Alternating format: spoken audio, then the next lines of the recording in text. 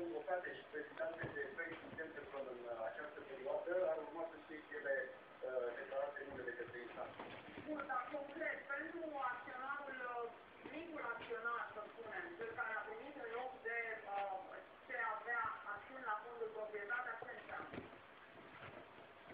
Uh, din punctul de vedere al uh, procedurii de despăgubire, se poate repune în discuție în momentul acesta. Tocmai de-aia v-am spus că este important acel prim uh, uh, faz. Se poate repune în discuție calitatea de fond de despăgubire a fondului proprietatea.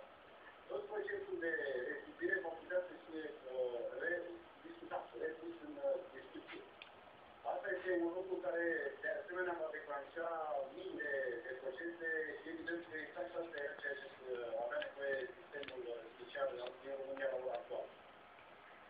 Domnule, vă rog, da, ce se poate face în acest moment? Uh, știm că acțiunile sunt de proprietatea de altfel era